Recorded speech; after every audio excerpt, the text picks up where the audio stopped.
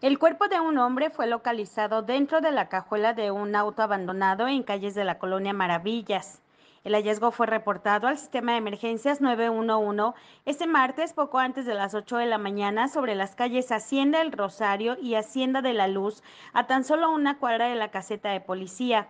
Vecinos informaron que desde el pasado lunes, un día antes del hallazgo, al menos dos hombres bajaron y lo dejaron abandonado entre las 8 y 9 de la mañana.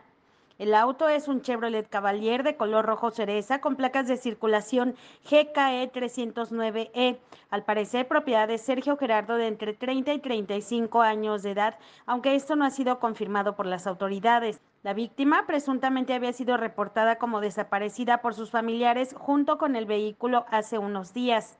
Hoy los vecinos se acercaron al ver que escurría sangre de la cajuela y pidieron apoyo de los cuerpos de emergencia. Al lugar llegaron elementos de policía para acordonar el área y agentes del Ministerio Público, quienes trasladaron el auto con el cuerpo dentro del vehículo. Para Noti 13 informó Margarita Villanueva.